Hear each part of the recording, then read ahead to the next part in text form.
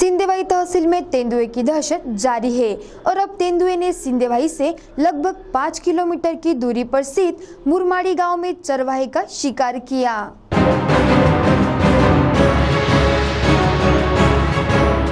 सिंधेवाई तहसील से लगभग पाँच किलोमीटर के अंतर पर स्थित मुरमाड़ी में एक बार फिर तेंदुए ने तीसरा शिकार किया और ये कुछ ही दिनों में ये तीसरी घटना हुई। रविवार को शाम के समय चरवाहा अपने जानवरों को जंगल से वापस ला रहा था। उसी दौरान चरवाहा तुलसीराम पेन्ना उम्र लगभग पैंसठ वर्ष बताई जा रही है। उस पर तेंदुए ने हमला किया तथा उसे कुछ दूर तक घसीटते हुए ले जाकर उसका शिकार किया। बीते तकरीबन आठ दिनों के अंदर ये तीसरी घटना है। इसके पहले इसी तहसील में गटबोरी गाँव में तेंदुए ने दो लोगों का शिकार किया। मुरवाड़ी के घटना के बाद गाँव वासियों में आक्रोश व्याप्त है और जब तक पालक मंत्री घटनास्थल पर भेंट देकर कार्रवाई का आदेश नहीं देंगे, तब तक शव को यहाँ से उठाने नहीं देंगे, ऐसी स्पष्ट भूमिका नागरिकों ने ली। इस घटना से पूरे परिसर में तनाव का वातावरण व्याप्त हो गया था। श्रमिक एलकार की नेता पारोमिता गोस्वामी घटना स्थल पर पहुँची तथा गाँव वासियों से चर्चा की।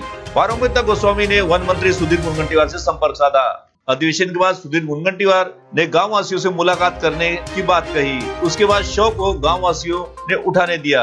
मगर वही यह भी कहा गया कि अगर वन मंत्री भेंट नहीं देंगे तो वे वन विभाग के कार्यालय को ताला जड़ देंगे, ऐसा भी इशारा किया गया। पारोमिता गोस्वामी ने पत्रकारों से बातचीत के दौरान कहा सिंदेवाई तालुक्याचं मुरमाडी गावामध्ये वाघांनी या भागातील सत्तावीसव्या व्यक्तीला ठार मारलं.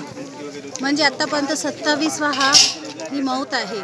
आणि अजूनपर्यंत आपले जिल्ह्याचे पालकमंत्री वनमंत्री कुणीच इथपर्यंत पोचलेले नाही आहे इथे आल्यानंतर गावकऱ्यांनी ही भूमिका घेतली की जोपर्यंत वनमंत्री साहेब आमच्यासोबत बोलणार नाही तोपर्यंत आम्ही प्रेत उचलणार नाही.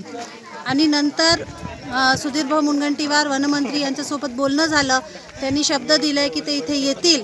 अन्यथा गावकऱ्याने हा निर्धार केला आहे की जर पालकमंत्र्यांनी आठ दिवसाच्या आतमध्ये इथे गावाला भेट नाही दिली आणि मृतकाच्या परिवारांना त्यांनी सांत्वना नाही दिली तर मग ते फॉरेस्ट डिपार्टमेंटच्या याला ऑफिसला ते कुलूप ठोकणार आहे.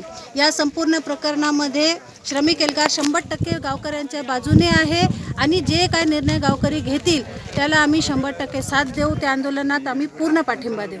तेंदुए के लगातार हो रहे हमले के चलते नागरिकों में दहशत दिखाई दे रही है कि कब, कहाँ से कौन सी अनहोनी घटना फिर सुनाई दे।